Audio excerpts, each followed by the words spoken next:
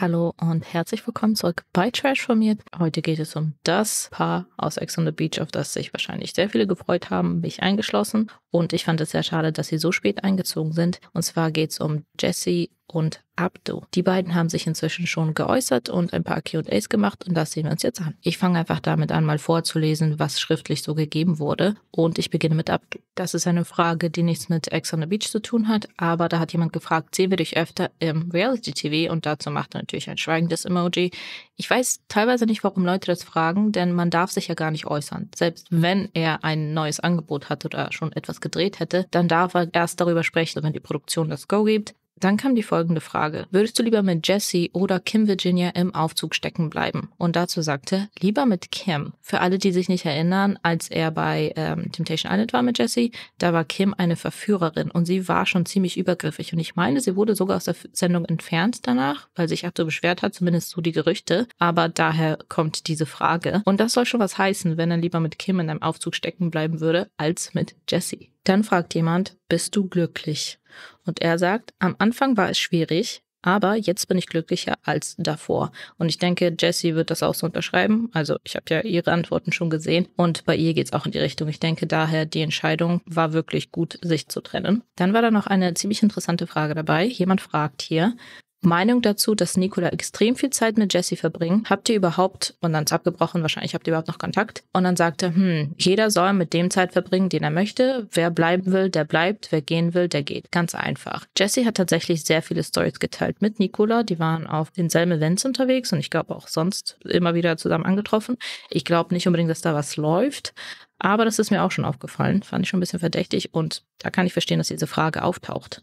Schauen wir uns jetzt aber mal die Videos an, die ihr so gemacht habt, bevor wir uns Jesse widmen. Tatsächlich froh, den ganzen Stress loszuhaben, vor allem mit meiner Ex. So. Von dem her, ja, ich war froh irgendwo und irgendwo habe ich mir gedacht, so ein bisschen mehr Action, ein bisschen mehr Drama wäre noch geil gewesen, aber ja, stay tuned, Freunde. Man weiß ja nie, was noch kommt, ne? Hinter den Kulissen sieht meistens immer alles anders aus, Freunde. Glaubt mir. Mm, Ex on the Beach war für mich so eine Erfahrung wie Temptation Island auch. Also es war auf jeden Fall etwas für sich selber so, eine einmalige Erfahrung. Und ähm, ja, also auf jeden Fall crazy. Es war crazy. Tatsächlich vieles so und da kamen auch bei der letzten Folge wieder so Sachen raus, wo ich mir gedacht habe, Mädchen, was ist eigentlich dein Problem so? Warum tust du sagen, ich tue die Sachen umdrehen, obwohl du eigentlich immer diejenige warst, die es so war? Aber wir lassen die Sachen jetzt einfach hinter uns. So, die Sachen sind geschehen, ähm, alles ist passiert. Ähm, wir haben aus den Fehlern gelernt und ja, also Freunde, bei manchen Sachen konnte ich echt nur den Kopf schütteln. Ähm, deswegen fangen wir einfach direkt mal mit dem ersten an, so wie es für dich im TV zu sehen, was sie über dich erzählt. So, ähm, damals hat es mich richtig abgefuckt, so weil ich wusste auch, ich weiß ja, wie sie ist, so. Und ähm, jetzt im Nachhinein mache ich mich so drüber lustig. Da vor Ort bist du ja sowieso so emotional so geladen. Da denkst du einfach nur so, Alter, was laberst du eigentlich für eine Scheiße und was versuchst du meinen Ruf so kaputt zu machen weil sie ja sehr, sehr, sehr, sehr viel Müll erzählt hat. Und ich habe von Freunden mitbekommen, was sie alles zu denen gesagt hat. Und das ist für mich dann auch alles nochmal so eine Schippe drauf. Deswegen, ja. Ja. Hat man ja natürlich gesehen, sie war geladen, ich war geladen, aber so war sie schon immer so. Wenn sie eine Meinung hatte, dann war es einfach Gesetz und äh, was man dagegen gesagt hat, hat halt gar nichts gebracht. Und deswegen ist sie mir auch immer wieder ins Wort gefallen. Deswegen habe ich auch manchmal gar keinen Bock gehabt, einfach zu reden. so, Weil ich wusste so, ich sag A und direkt da wird reingeballert. so. Ihr Name ist Kim Virginia. Woo. Keine Ahnung. Da musst du sie mal selber fragen, glaube ich. Mm, definitiv ja. Ähm, sie hat mich sehr oft angeschrien. Natürlich habe ich meine Fehler gemacht. Ich habe Kacke gemacht. So, und äh, sie hat ja auch gemeint, ich, hab, ich hätte mich nie entschuldigt für die Scheiße, die ich gemacht habe. Habe ich definitiv zu oft, sonst wären wir nie so lange zusammen gewesen. Und ähm, was soll ich hier sagen, aber jeder geht seinen Weg, soll sie ihr Leben leben und ich lebe mein Leben, soll sie mich einfach in Ruhe lassen, fertig aus, dann ist alles gut so. Aber ja, ein bisschen zu oft. Bin ehrlich, mir ist äh, mein Herz in die Hose gerutscht und Gefühlschaos des Todes, also ich empfehle es keinem. ich empfehle es aber keinem. Nö, also ich bereue es definitiv nicht bei Temptation mitgemacht zu haben. Also, wir waren ja danach noch zwei Jahre zusammen, so von dem her. Ähm, es gab vielerlei andere Gründe auch, äh, weswegen wir uns getrennt haben. Klar, das sind so Vertrauen angeschmacks, ähm, auch bei Temptation so, aber bereuen? Nö. Ich habe tatsächlich sehr viel abgenommen und äh, bin auch älter geworden. Mittlerweile bin ich 25 Jahre alt, so man wird dann einfach markanter im Gesicht so. Habe ich von meinem Dad. Kann nichts dafür. Nichts ist unterspritzt, alles natural, Freunde. Alles natural. Also tatsächlich hat es mich gar nicht gestört, wenn ich ehrlich bin. So für mich eher ein Vorteil gewesen. Wegen dem ganzen Stress. Liegt im Auge des Betrachters, ne? Also manche werden sagen, ja, die werden zu Jesse halten, manche sagen, die werden zu mir halten. So im Endeffekt ähm, sieht man nur das, was im Fernsehen kommt und man weiß nie, was privat wirklich abgegangen ist und deswegen ähm, ja, kann man da nicht vielen, vielen Menschen das recht machen. So, man kann es versuchen zu erklären irgendwie ein Stück weit, aber ob man es annimmt oder nicht, das liegt immer noch bei einem selbst so und äh, ja, also toxisch ist es auf jeden Fall definitiv. Also ob es eine gute Idee war, sieht ihr am Fernsehen so von dem her. also ich habe kein Problem damit gehabt. So klar, es hat einiges wieder so hochgeholt mäßig, aber nö, also alles okay. Bin zufrieden. Und hier zeigt er nochmal ein Bild von sich, bevor er sein Gewicht reduziert hat. Dem einen oder anderen ist es vielleicht schon aufgefallen. Bei Ex on the Beach hat man gesehen, dass er so ein bisschen Dehnungsstreifen am Bauch hat. Und das ist der Grund. So sah er eben vorher aus. Und es hat natürlich sehr viele Leute interessiert, wie er zu dem Gewicht gekommen ist und so weiter und so fort. Aber das ist hier nicht das Thema. Dennoch wollte ich das mal einblenden. Vielleicht wollte der eine oder andere das auch sehen aus Interesse. Also ich persönlich hätte mir schon gewünscht, dass man wer von den beiden gesehen hätte. An seiner Stelle hätte ich aber auch keine Lust gehabt, dort länger drin zu sein als nötig. Ich finde es ganz gut von ihm, dass er allgemein nicht zu sehr gegen Jesse ätzt, aber er sagt dennoch ein paar Dinge, die nicht so cool sind. Also erstmal geht nicht zu sehr ins Detail, das finde ich schon mal ganz gut. Aber dennoch versucht er irgendwie ein Bild zu vermitteln, dass Jesse so eine Furie ist. Wenn sie so stark überreagiert, dann hat das sicherlich seine Gründe. Ich glaube nicht, dass sie aus heiterem Himmel von 0 auf 180 ist. Und zu sagen, sie sei so toxisch, naja, das wird sie sicherlich anders sehen und wir bewerten das nur als außenstehende Personen und können es daher gar nicht so richtig bewerten. Schreibt mir aber dazu bitte in die Kommentare, wie ihr das so seht. Also da würde mich sehr interessieren, wie Abdus Aussagen hier allgemein bewertet. Und weil es immer zwei Seiten der Medaille gibt, müssen wir uns natürlich auch Jessie angucken. Ich gebe hier mal eine kleine Warnung. Wir haben viel mehr Details von Jessie. Ja, also sie hat sich viel mehr zur Sendung geäußert und daher ist da jetzt auch ein älteres Q&A mit bei. Abdu hat sich, glaube ich, nur zweimal oder so gemeldet, so richtig. Ich hatte das Gefühl, der hatte generell nicht so wirklich Bock, sich mit dem Thema zu befassen. Für ihn ist das Ding gelaufen und gut ist. Aber Jessie hat viel mehr zur Sendung allgemein gesagt und natürlich auch zu Abdu. Und das schauen wir uns jetzt an. Auch mit äh, zur meistgestelltesten Frage, was da mit der Freundin war und vielleicht hatte sie ja Unrecht und Abdu ja recht. Dazu muss ich sagen, Leute, das war nicht der Hauptgrund, warum ich mich getrennt habe. Wir haben noch ganz viele andere Streitpunkte bei Ex on the Beach thematisiert, die teilweise nicht ausgestrahlt werden durften. Ähm, aber zudem möchte ich einfach nur sagen, unsere Beziehung war irgendwann an dem Punkt, wo ich Abdu kein Wort mehr geglaubt hat. Alles, was er gesagt hat, war für mich erstunken und erlogen. Und natürlich glaube ich dann meiner Freundin, die mich noch nie angelogen hat, die auch keinen Grund hat, mich anzulügen, wie meinem Partner, der mich nur angelogen hat. Und zu der Situation ist halt auch bisschen tricky, weil es kommt so rüber, wie als hätte meine Freundin sich allein mit ihm getroffen. Nein, so war das nicht. Ich kenne oder habe den Kontakt zu Abdu erst durch diese Freunde wiedergefunden. Also wir hatten einen gemeinsamen Freundeskreis und als ich im Urlaub war, haben die unabhängig von mir auch in der Gruppe in der Gruppe miteinander was gemacht. Und ähm, ja, dann ist eben diese Situation zustande gekommen. Und ich hätte das nicht auf die Goldwaage gelegt, wären im Vorfeld nicht zig Situationen passiert.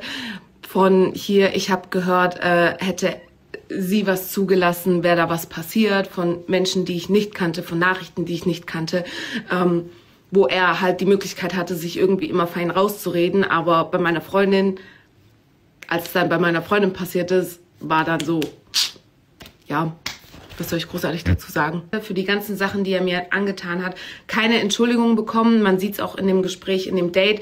Äh, er gibt ja zu, dass er Scheiße baut, dass er mich angelogen hat, aber dass er sich dafür entschuldigen sollte, ähm, hält er nicht für nötig. Und ihr müsst euch vorstellen, ich bin an diesen Strand gegangen und hab, bin davon ausgegangen, dass genug Zeit dazwischen war, dass er vielleicht mal ein bisschen reflektiert hat. Ich saß da und ich bin ehrlich davon ausgegangen, er kommt und entschuldigt sich. Und dann drückte mir so eine Ansage, dass ich Scheiße bei seinen Freunden über ihn geredet habe. What the fuck? Das, was wir in der Sendung im Endeffekt gesehen haben, war ja die Geschichte, dass Abdu sich wohl auch an eine Freundin von Jesse rangemacht hätte. Aber Jesse sagt eindeutig, dass es nicht der ausschlaggebende Grund war für die Trennung. Da hätte ich mir schon gewünscht, dass man mehr gezeigt hätte. Wurde viel mehr in diesem Gespräch besprochen, als wir gesehen haben. Ich fand es auch gut, dass Jesse sagt, er hätte die schlimmsten Seiten von ihr hervorgebracht. Also wird sie nicht von Grund auf einfach toxisch gewesen sein. Es ist ja oft so, dass ein Partner entweder die besten oder die schlimmsten Seiten von einem hervorbringen. Und wenn es wirklich so schlimm war, dann ist es für beide das Beste, dass sie getrennte Wege gegangen sind. Ich glaube aber auch, nach so einer langen Beziehung werden da immer noch irgendwelche Spannungen sein oder irgendwelche Emotionen, die ja irgendwo raus müssen. Und wenn man sich dann wieder sieht, dann eskaliert man einfach. Das wollen wir als Zuschauer im Endeffekt irgendwo auch sehen und dafür ist die Sendung schließlich auch da. Ich glaube, das erklärt das wahrscheinlich auch ein bisschen besser, warum sie so ausgerastet ist. Also sie hat eine ganz andere Erwartung von dem, was passieren wird, wenn er in die Sendung kommt und diese Erwartung wurde einfach nicht erfüllt ihre Fantasie und Realität gingen quasi ganz weit auseinander. Und da kann ich verstehen, dass man sehr viel Frust in sich trägt und das irgendwo loswerden möchte. Sie sagt immer wieder, dass da viel mehr Probleme waren in der Beziehung und dass da viel schlimmere Dinge passiert sind als das, was wir gehört haben am Ende. Er sagt nichts davon, aber wie ich schon vorher gesagt habe, ich denke nicht, dass sie ohne Grund wirklich einfach so ausrasten würde, aber er scheint eine Person für sie zu sein, die sie auch so triggert, dass sie theoretisch ab diesem Zeitpunkt einfach ausrasten könnte, wenn er einfach nur atmet. Was ich ja anscheinend gesagt haben sollte, Leute, ich habe nichts anderes ausgesprochen als die Wahrheit. Als ich die Beziehung beendet habe, ich bin bei, bei, bei seinen Freunden, die ja jetzt gar nichts mehr mit ihm zu tun haben, sondern mit mir was zu tun haben oder beziehungsweise unseren gemeinsamen Freunden, ähm, ja, habe ich natürlich auch ehrlich erzählt, was alles passiert ist, weil in, wenn man in so einer Beziehung ähm, steckt, dann trägt man ja seine Probleme auch nicht nach außen. Man will ja auch das für sich klären und miteinander klären und ja, dann war es halt over und dann habe ich halt auch erzählt, was Sache war und wenn er damit nicht zurechtkommt, wenn das für ihn die Scheiße war, die ich gelabert haben soll, sorry, aber dann war das die Scheiße, die er mir angetan hat. Ja, also wie gesagt, ich ähm, will jetzt zu unseren Streitthemen noch nicht viel vorwegnehmen, ähm, weil ich noch nicht weiß, was nächste Folge in dem Gespräch thematisiert ist. Man hat ja in der Vorschau gesehen, dass wir da noch ein Gespräch hatten. Ähm, spätestens dann kann ich auch ein bisschen offener über alles sprechen, was halt bei uns passiert ist, wie, warum, weshalb, wieso. Äh, ich werde hier jetzt auch keine Details auspacken, weil das gehört sich für mich nicht, aber ähm, damit man vielleicht auch so ein bisschen meine Reaktion nachvollziehen kann, was ich einfach nur sagen kann, dass dieser Mensch für mich ganz, ganz, ähm, ganz, ganz gefährlich ist. Also ja, ich glaube, gefährlich ist einfach das richtige Wort in jeglicher Hinsicht. Und an der Stelle will ich halt auch sagen, ihr dürft halt auch nicht vergessen, ähm, ihr seht einfach wirklich nur minimale Sätze, aber dahinter steckt halt eine vierjährige Beziehung. In diesen vier Jahren ist so viel passiert so viel, was sich auch zusammengestaut hat, was nicht gezeigt wurde, ähm, seine ganzen Provokationen bei diesem Date, Sätze, die er gedroppt hat. Ich hoffe so sehr, dass das in der nächsten Folge thematisiert wird. Wenn nicht, weil diesen Satz werde ich hier droppen. Den Satz hat er beim Date gedroppt. Deswegen empfinde ich das als mein Recht, das hier auch droppen zu dürfen, weil das ging gar nicht. Und ja, hoffe einfach nur, dass das nächste Folge thematisiert wird und euch gezeigt wird, vielleicht versteht man dann meine Reaktion, vielleicht versteht man dann, warum ich mich in Grund und Boden in diesem Moment geschämt habe und einfach nur das Date abbrechen wollte. Ich weiß jetzt nicht, ob das, was sie droppen wollte oder von dem sie nicht wusste, ob es gedroppt wird in der Sendung, da noch gezeigt wurde. Keine Ahnung, worauf sie hinaus wollte, aber in der letzten Folge gab es ja nochmal einen riesigen Streit. Korrigiert mich da bitte in den Kommentaren, falls ich falsch liege und da eine falsche Information habe. Auf jeden Fall hat sie da noch ein paar Stories gemacht, die nicht super spannend sind, aber eine fand ich ganz gut. Da hat sie nochmal auf seine Lügen angedeutet. Und zwar teilt sie da ein Reel von sich, in dem sie sagt, wenn er versucht, dir eine Ansage zu drücken, obwohl er die Scheiße gebaut hat, dann schreibt sie nochmal dazu, wer einmal, in Klammern mehrmals mit einem Clowns-Emoji lügt, dem glaubt man nicht, wenn er die Wahrheit spricht. Und das war natürlich noch zu der ersten Folge, als die beiden reingekommen sind. Also das sind die älteren QAs. Und wie gesagt, ich glaube, das, was sie wollte oder was sie zu sehen bekommen wollte, wurde dann nicht gezeigt. Schauen wir uns aber mal die weiteren QAs von ihr an. Er hat mich gefragt, was bei meiner Familie geht. Ich habe ihn gefragt, was bei seiner Familie geht und das war es dann auch. Seitdem äh, haben wir uns auch nicht mehr nochmal gesehen, nicht nochmal miteinander geschrieben, gar nichts. Nee, Lüge. Wir sind uns einmal im Club über den Weg gelaufen, aber haben uns auch nicht großartig beachtet. Ja, so ging es mit uns weiter und so hat es mit uns geendet. Also, ihr habt bei Ex on the Beach nur zwei Gespräche von mir und Abdu mitbekommen, weil es eben nur diese zwei Gespräche gab. Einmal das Aufeinandertreffen am Strand und eben in der letzten Folge die Eskalation auf diesem Rauchersofa. Und ich denke, wären wir vorher eingezogen, wäre es eigentlich genauso gelaufen, wie es bisher abgelaufen ist, dass wir uns einfach nur die ganze Zeit gebieft hätten, weil es macht einfach von vorne bis hinten gar keinen Sinn mehr, mit diesen Menschen zu diskutieren. Und deswegen bin ich einerseits froh, dass ich nur so kurz drinne war, aber andererseits natürlich schade. Ja auch schon dort vor Ort gesagt in der Folge, es war halt wirklich nur, um seine Weste reinzuwaschen und solche halbherzigen Entschuldigungen war ich halt immer gewohnt. Deswegen habe ich auch so drauf bestanden, den Grund zu wissen, wofür er sich entschuldigt, weil den habe ich nie bekommen. Immer nur ein Sorry für alles. So, wenn man sich bei mir entschuldigt, dann begründe deine Entschuldigung auch bei mir. Oder zeig wirkliche Einsicht und nicht, okay, sorry, halt die Fresse. Schon in meiner letzten Fragerunde beantwortet, aber here we go again. Ähm, ganz einfach, weil er mich ständig angelogen hat. Warum sollte ich meinem Ex-Partner glauben, der mich täglich anlügt, wie einer Freundin, die mich noch nie angelogen hat, die auch keinen Grund hat, mich anzulügen. Und ähm, das war auch nicht der einzige Grund, warum ich mich getrennt habe. Ich hatte ganz viele Gründe, die alle nicht thematisiert worden sind bei Ex on the Beach, warum auch immer. Es wurde einfach nur dieses hier mit der Freundin gezeigt. Äh, ich will das jetzt auch nicht unnötig mit aufgreifen, aber ich hatte genügend Gründe und ja. Also ganz schwieriges Thema. Erik war ja äh, jemand, den ich da drin gut fand. Er ist ja Best Bro jetzt mit Abdu. Umso mehr Upturn, aber ähm, ja, spielt ja jetzt auch keine Rolle. Äh, mit ihm hatte ich eigentlich ein gutes Verhältnis in der Villa die gesamte Zeit über. Mit Aline eigentlich auch. Danach ist es noch ein bisschen am Flughafen eskaliert, was richtig unnötig war. Was ich auch unnötig fand, dass sie damals in der Villa zu mir hergekommen ist und zu mir meinte, dass Erik gesagt hätte, ich hätte ein hässliches Gesicht. Und ich jetzt aber in der Ausstrahlung sehe, dass sie das gesagt hat, ist für mich fake. Ähm, deswegen weiß ich nicht. Ich halte von beiden eigentlich nicht wirklich viel in Kombination schon sowieso erst recht nicht. Mir war es tatsächlich einfach ein bisschen mehr Überforderung, weil ich nicht damit gerechnet habe, dass er an den Strand kommt und versucht mir eine Ansage zu drücken. Ich saß da wirklich und dachte, er kommt und entschuldigt sich für alles. War nicht so, ihr habt es alle gesehen. Ähm, und bei mir waren es auf jeden Fall überwiegend ja, Überforderungstränen, Wutstränen, Enttäuschungstränen, aber von Feelings oder so war da von meiner Seite aus gar nichts mehr zu dem Zeitpunkt. Ja, und noch Fake-Tränen, ne? Den Chris habe ich bei meinem Famefighting-Kampf äh, kurz kennenlernen können. Ist für mich auch ein super sympathischer Kerl, aber zu dieser Thematik hier ganz, ganz dünnes Eis. Ähm, ich mag Alessa. Ich habe viel Zeit mit ihr verbracht durch unser Famefighting-Training. Ähm, aber ich schätze Ellie nicht so ein. Für mich war sie immer korrekt, sie kam mir immer sehr real rüber, genauso ein Philipp. Ähm, er war für mich auch eine kleine Bezugsperson da drin. Ich habe sehr viel mit ihm quatschen können. Ähm, deswegen ja, finde ich es auch hart, sowas zu behaupten, ohne es auch richtig belegen zu können. Aber ich bin da sowieso nicht wirklich in dieser Thematik drin, weil mich das alles ehrlicherweise auch gar nicht juckt. Ich habe mit, also sowieso mit niemandem mehr irgendwie was zu tun generell aus dem Reality, weil ich da einfach keinen Bock drauf habe.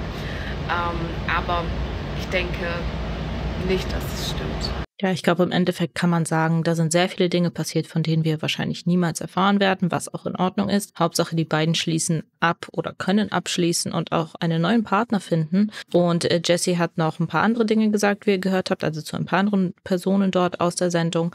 Und jetzt kommen wir zu den abschließenden Stories. Das lese ich euch jetzt mal vor. Da fragt jemand, hast du die Art von ihm in den vier Jahren Beziehung vorher nicht gespürt oder schon auch? Und dazu antwortet sie, ja, aber für mich irgendwann normal. In Klammern dachte ich. Ich glaube, das ist ein guter Punkt. Wenn man nicht weiß, dass man in einer toxischen Beziehung ist, dann wird man das natürlich auch nicht gut erkennen können. Jetzt, wo sie raus ist, sieht sie vielleicht die ganzen negativen Muster, die die beiden an den Tag gelegt haben oder Verhaltensweisen, die nicht in Ordnung sind. Aber in dem Moment hat sie das halt durchgehen lassen, weil sie es auch nicht anders kennt. Man gewöhnt sich dann ja auch dran. Und ich meine, sehr viele Beziehungen, da bleiben Leute einfach zusammen, weil sie dran gewohnt sind. Es ist einfach die Macht der Gewohnheit am Ende des Tages. Und jetzt merkt sie eben, viele Verhaltensweisen waren nicht okay. Sie sagt zwar nicht, dass viele Verhaltensweisen von ihr auch nicht okay waren, kann ich mir schon vorstellen. Das schaukelt sich ja häufig hoch bei solchen negativen Beziehungen. Daher ist es schon gut, dass die beiden getrennt sind. Dann wurde sie auch gefragt, bereust du die Trennung? Dazu sagt sie, auch wenn ich mir alles anders gewünscht hätte, bereue ich es keine einzige Sekunde. Ich bin jetzt knapp ein Jahr ohne ihn, war in der Zeit in acht verschiedenen Ländern, habe eine schöne Wohnung gefunden, bin wieder näher an meiner Familie,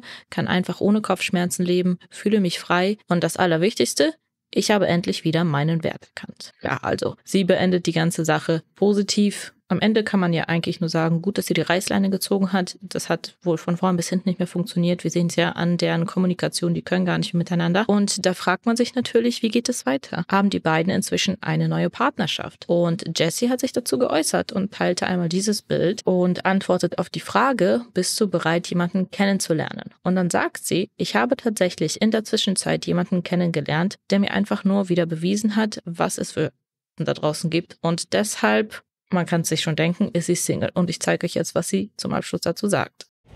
Ich bin Single, like a Pringle.